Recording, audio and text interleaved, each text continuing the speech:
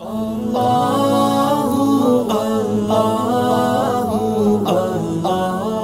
ایک دنیا میں ایک اندر وبا ہے کہ انسان انسانوں سے مل نہیں سکتا، ایک دوسرے کے قریب بیٹھ نہیں سکتا۔ اور تاجدار ختم نبوت کے ماننے والوں، حضور کی کی محبت سینے میں رکھنے والوں، ایک ایسا دن ہوگا کہ انسان گھروں سے منتقل ہو جائے گا۔ اور گھروں سے قبرستان کی طرف منتقل ہو جائے گا۔ وہاں کا جو جگہ ہوگی، وہ بہت کم ہوگی اور بہت زیادہ تنگ ہوگی۔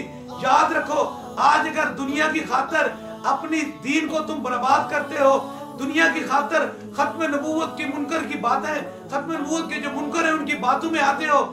یاد رکھو جب تیسرا سوال ہوگا، نہ تو مال ہوگا، نہ دولت ہوگی، نہ رشتہ دار ہوگے نہ چاہنے والے ہوں گے، نہ اپنے ہوں گے، نہ پرائے ہوں گے، وہاں تیسرے سوال پہ آمنہ کے لال کا چہرہ ہوگا۔ اس لیے جس نے بھی حضور کے چہرے کی پہچان کر لی، اللہ نے اس پہ کرم ہو جائے گا۔ وہ ایسی جگہ ہوگی جہاں پھر ہم میشر والے دن ہی لوٹ کے آئیں گے۔ اس لیے آج اپنے دلوں کے اندر یہ دنیا داری چیزوں کو نکالو۔ ان ساری چیزوں کو ہٹاؤ۔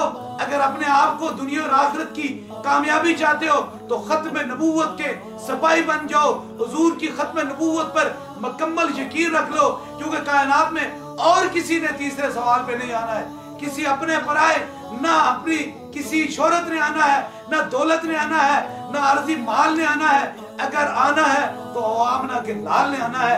اللہ پاک پاکستان میں اپنا خصوصی کرم اور مہربانی فرمائے۔